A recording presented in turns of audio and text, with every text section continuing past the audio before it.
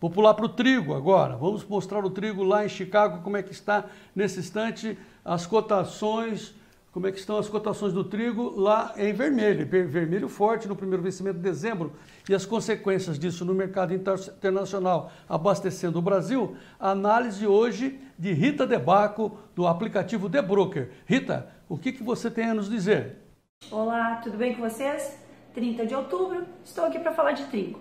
Último dia do mês e último dia do outubro rosa, então estou eu aqui no lugar do Marcelo para falar um pouquinho de trigo para vocês.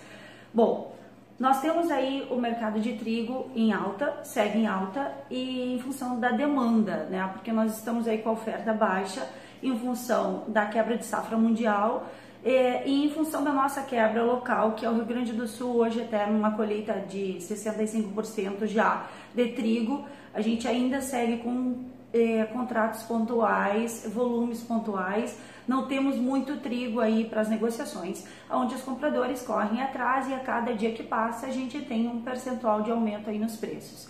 Uh, o trigo da safra passada para cá já teve 100% aí de aumento é, no seu preço e não, não em função do dólar. O, o dólar acarretou 40% de aumento, mas isso sim em função foi da demanda. Né? A gente está com a demanda aquecida e a gente não está tendo assim todo o trigo que a gente imaginava. Uh, o porto segue a, a mil, a gente está com as entregas lá, uh, o pessoal cumprindo o contrato, o pessoal entregando, a gente está sempre com bastante fila no porto graças a Deus, a gente está conseguindo cumprir os contratos. É isso para hoje, é, é uma alegria imensa sempre falar com vocês. Eu não tenho a experiência do Marcelo, mas um dia eu chego lá, tá bom? Fiquem com Deus, um abençoado final de semana, boa sorte para todos.